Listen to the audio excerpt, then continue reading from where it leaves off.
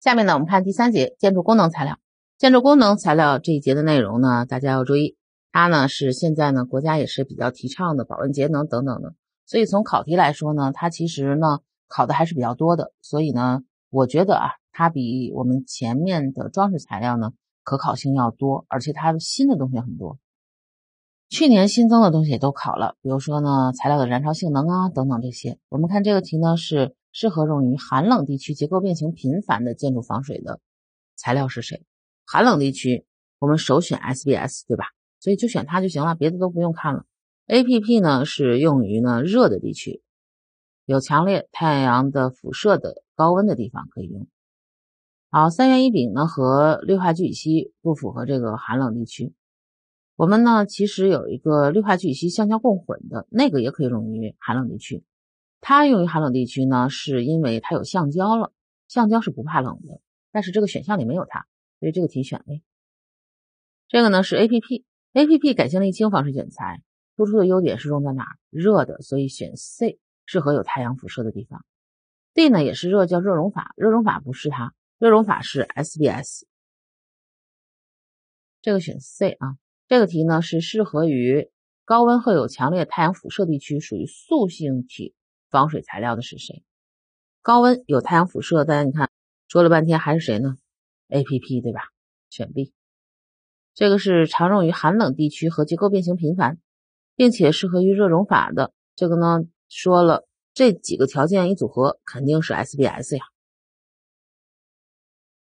SBS 改性沥青是我们目前使用最为广泛的一种材料。这个题呢是特别适合于寒冷地区或变形较大的。土木建筑防水卷材是是谁呢？有同学说选 SBS，哎，这道题它没有 SBS，没有 SBS，有一个人跟 SBS 功能是一样的，是谁呢？就是氯化聚乙烯橡胶共混，是橡胶给它带来的呢？是耐低温，对吧？变形好的特点，所以应该选呢 A。它是一种共混型的啊，它具有两种东西共同的特性。这个题是堤坝防水抗渗工程常用。堤坝这个说的是堤坝，这个可以选择 A 三元乙丙，还有呢是聚氯烯、C 氯化聚乙烯，还有氯化聚乙烯橡胶共混，选谁呢？选聚氯乙烯。聚氯乙烯可以用于水池堤坝这些抗渗的工程都可以。三元乙丙我们书上就写的是防水要求高、耐用年限长，用它。氯化聚乙烯呢，除了用于民用，还可以用于工业上的。我们那年考采矿业就选它，氯化聚乙烯橡胶共混呢，这种卷材呢，一般来讲，它呢是两种材料的特性。这个呢是冶金业防水防渗工程常用于谁？冶金是属于工业对吧？那应该选的呢是氯化聚乙烯这个选项，选 B。这个题是耐腐蚀性、耐细菌性都较好的防水卷材是谁？A. 三元乙丙，三元丙是防水要求高、耐用年限长。B 呢是聚氯乙烯，聚氯乙烯。那我们的特点在讲课的时候提到，它就是卷材的尺度稳定、耐热性和耐腐蚀性、耐细菌性都好，适合于各类建筑的屋面防水工程和水池堤坝防水抗渗工程。所以这样的话就选谁呢？选 B，它具有呢耐腐蚀、耐细菌性。这个点呢大家要知道啊。这个题呢是高温车间防潮卷材，应该选用哪个？高温车间是热呀，那我们选的肯定是谁？APP，选 C。这个呢是对于防水要求高、耐用年限长，优先选用谁？我们说过，只要看到这个字就选三元乙丙。所以选 D 这个答案。这一部分的题都不太难，只要你看书能够看到关键的这些点，都能选对的。这个题呢是广泛适合于工业与民用建筑的屋面防水、地下室防水工程和地面防水防渗，特别适合于各类不规则的部位的防水的防水材料是谁？这个呢，大家你看啊，他提到的是。这个不规则，不规则不应该是卷材，卷材呢不规则不好铺啊，它也不是混凝土，那我们的防水材料有刚性的和柔性的，防水混凝土是刚性的，卷材是柔性的，还有一种呢是涂料也是柔性的，所以这个应该选 C 涂料才对的，所以选合成高分子涂料 C 这个答案。这个题，弹性和耐久性较高的防水涂料是谁呢？这个说的是比较好的涂料，人家说的是啊，这个呢我们可以选的 A 是氯丁橡胶，是吗？这个不是，B 呢是聚酯防水涂料，还有 SBS，还有呢聚氯乙烯改性沥青防水涂料，选谁？弹性和耐久性较高的防水涂料，你得照着高分子去选，涂料分为高分子和改性沥青的。那肯定照着高分子，高分子的品种中都有一个酯字儿，那谁有酯就选谁。这个里面聚氨酯有酯，所以选它。其实呢，我们说这个呢，除了聚氨酯、环氧树脂、有机硅，这都是都可以选。丙烯酸酯也可以选。这个题选用建筑密封材料时，应该首先考虑什么？这个考的是密封材料啊。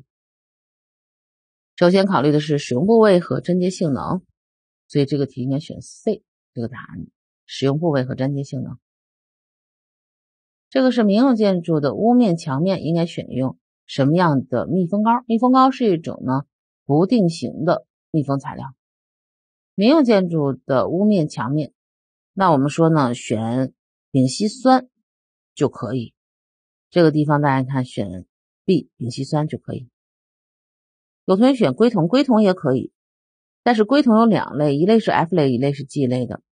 F 类呢，一般呢是用于建筑密封；G 类呢都是用玻璃，所以这个应该是门窗玻璃用的。另外呢，这个丙烯酸我再说一句，它用在这些地方都可以，但它特别怕水。我们说过这个“烯”字儿，它是火字旁，水火不容，对吧？所以它特别怕水，它不能用在有水的、沾水的、泡水的，它都不能用。所以不如宜用于广场、公路、桥面有交通往来的接缝，水池、污水厂、灌溉、堤坝、水下接缝都不可以用的。这个题呢是丙烯酸类的密封膏，具有良好的粘接性能，但不能用于哪儿？刚才说了有水的地方，那哪个你觉得跟水最紧密呢？就是桥面、广场、公路、桥面交通往来的接缝中不能用。大家看，这些它都不能用，它怕水，耐水不好。而广场、公路、桥面，它呢来回来去的，对它呢破坏性大，也不能用。交通往来嘛，它这个车要开来开去，人要走来走去。大家想在屋面上倒没事儿，因为呢。我们在房顶上没人走啊，墙板中没人碰啊，门窗嵌缝这些都行。好，这个题呢不宜用于经常泡在水中的工程。不定型材料是谁？哎，不能在水里，不就是丙烯酸吗？选 B 这个答案。这个题是最适合游泳池，游泳池呢是有水的，谁呀？聚氨酯，所以这个题应该呢是选 D 聚氨酯密封膏。我们看这个题，影响材料导热系数的主要因素是什么？影响材料导热系数的因素啊有很多，谁对它影响最大？孔结构和湿度应该选 A。那这个导热系数是影响材料保温的最主要的一个系数，导热系数越小越好。这个题呢是主要用于工业建筑的隔热、保温及防火覆盖的保温隔热材料是哪个？这个选的是保温隔热材料，注意这是工业，也就提到呢民用不行。那下列哪个不能用于民用？石棉，因为石棉有毒。其他几个呢都主要是民用的，屋面呀等等也都行。所以这个 C 是不能用于民用，只能用于工业的隔热、保温、防火、覆盖。这个呢是纤维状的绝热材料的说法，错误的是 A。岩棉和矿渣棉就是矿棉，缺点是吸水性大，这是对的。石棉广泛用于民用建筑，这是错的，因为石棉有毒，所以就选它。C 呢是玻璃棉，广泛在温度较低的热力设备中使用。因为玻璃棉最高的使用温度呢只有四百度，所以他说温度较低的热力设备这个是对的。D 呢是陶瓷纤维可用于高温绝热，因为陶瓷纤维的温度限值是一千一到一千三百五十度的，所以这个也是对的。选 B 是错的。这个呢是保温材料中，谁在民用建筑中很少使用，主要用于工业建筑的隔热、保温和防火覆盖呢？谁呀？石棉，因为它有毒，所以选 D。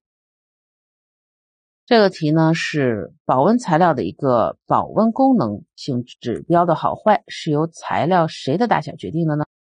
刚才讲过这个啊，保温好坏就是导热系数，而影响导热系数的因素中很多，最主要的是孔结构和湿度。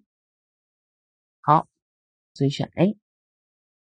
这个呢是膨胀质石，膨胀质石、膨胀珍珠棉、玻化微珠，这是一类的散体的，它是一种较好的绝热材料。隔声材料，但是使用时注意什么？防潮，它吸水性，所以这个是选 A 这个答案。C 说不能松散铺设，D 说不能与胶凝材料配合使用，这是不对的。它可以松散铺设，也可以与胶凝材料配合使用。选 A。这个呢是隔热吸声效果最好的材料是谁？就在讲到玻化微珠就提到。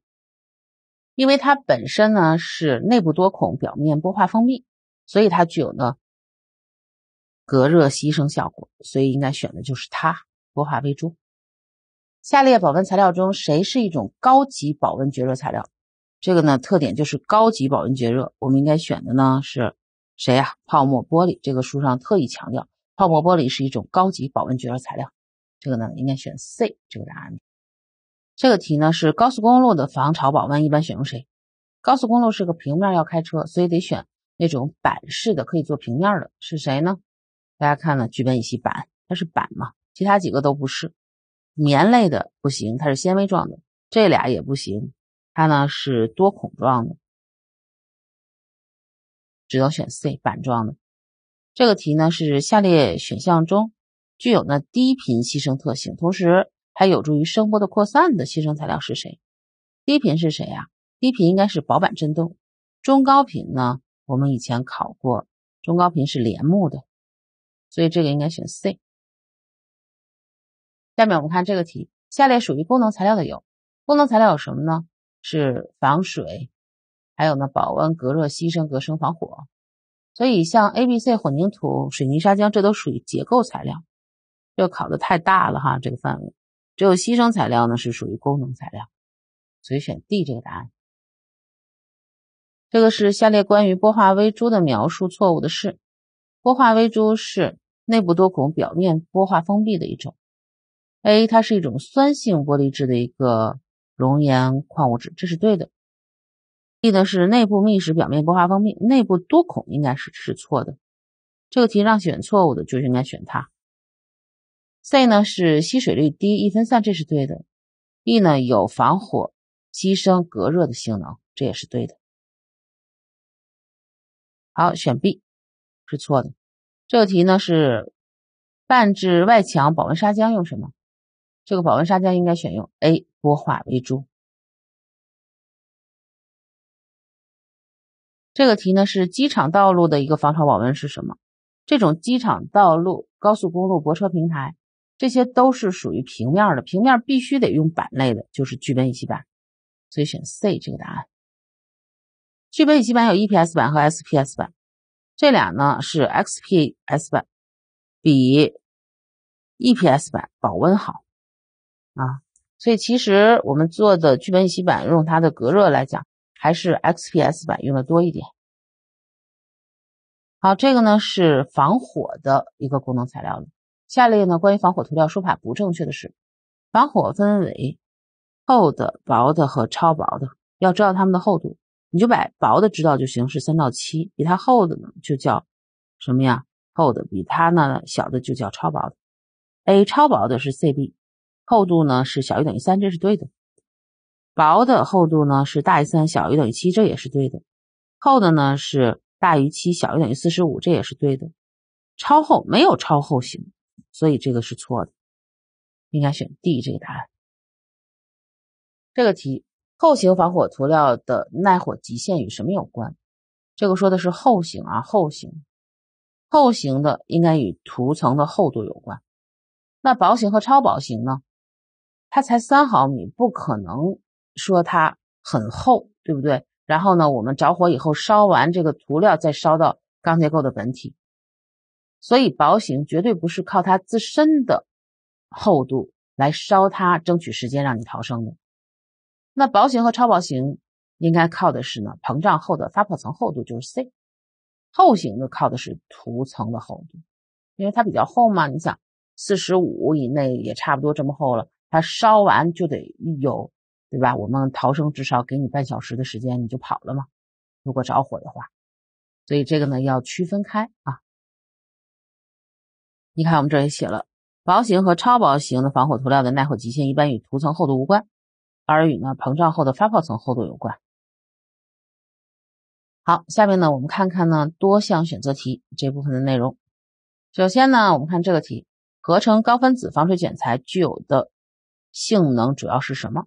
这个考合成高分子有耐冻、耐热、耐腐蚀、耐老化和断裂延伸率大，哪个对啊？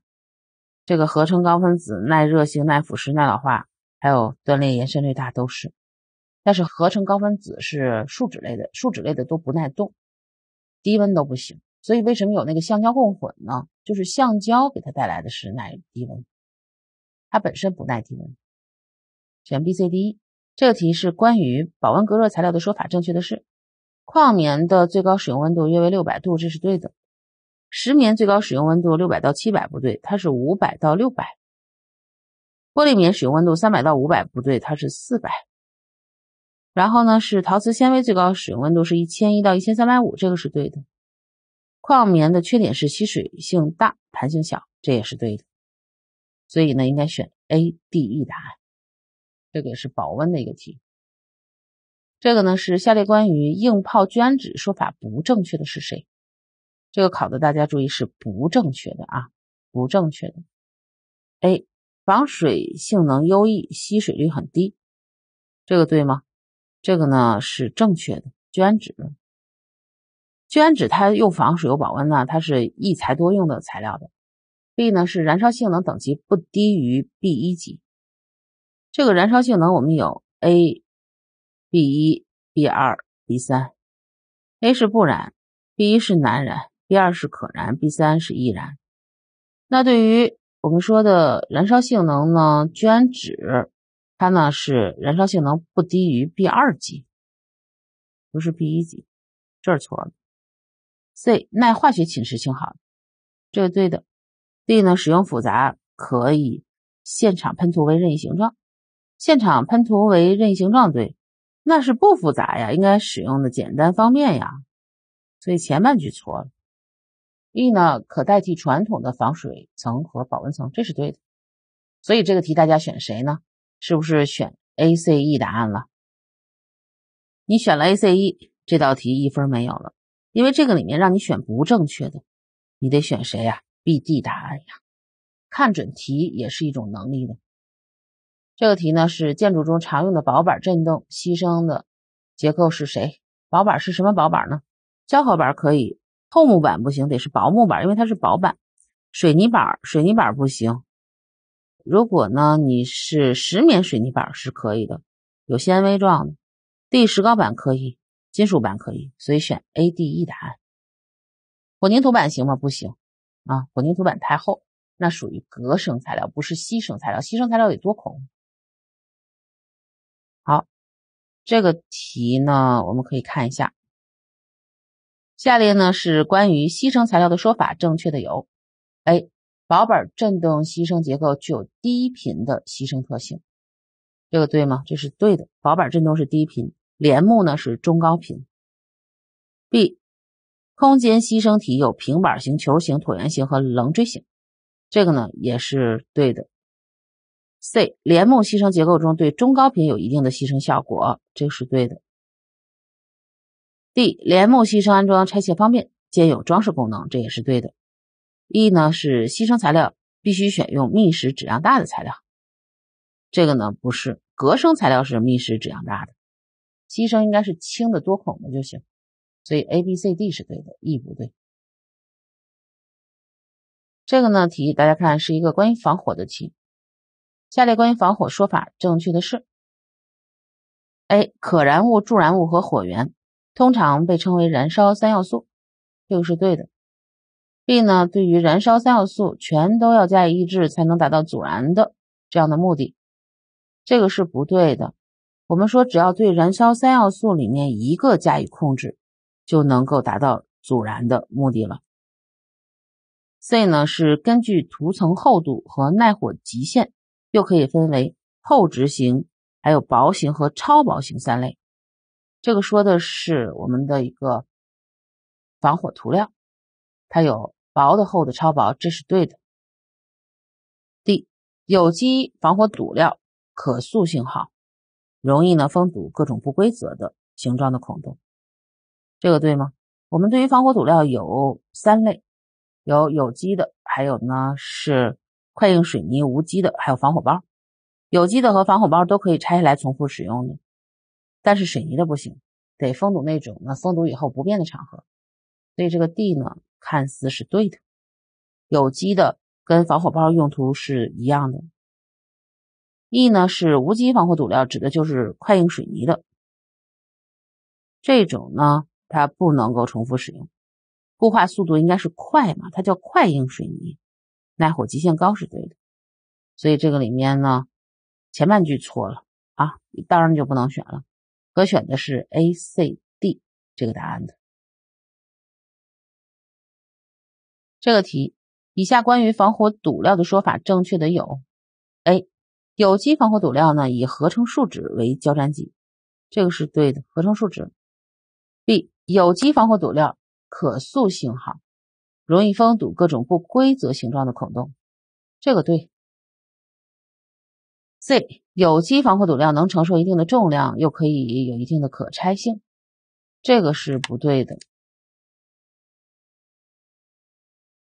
这个呢，其实说的不是它，说的是水泥那种是无机的。还有同学说无机的水泥不是不能够重复使用？对，不能够。那你还能可拆性？可以啊，拆下来就不要了嘛。我们如果下次再封堵用新的水泥啊，不是说它拆下来接着用啊。D，无机防火堵料具有无毒无味、固化快、耐火极限与力学强度高的特点，这是水泥类的，这是对的。E 是防火包，尤其适合于经常更换和增减电缆管道的场合。这个呢也是对的，所以这个题应该选的是 A、B、D、E 答案。好，那这部分呢就是关于功能材料。功能材料呢是现在我们呢国家提倡的保温节能的一个大方向，所以从考试来讲呢，它的题目不会少，包括呢防火这块你都得会。那我们第三章所有的题目呢，就给大家介绍到这儿。从结构材料、装饰材料和功能材料三个大方面给大家讲的。结构材料的题最多，然后呢后两个差不多都在三到四分左右，加起来这一章一共十六分。希望大家这一章呢能够记准一点，因为它的知识点比较碎。好，那这一章呢就给大家先分析到这儿，谢谢大家。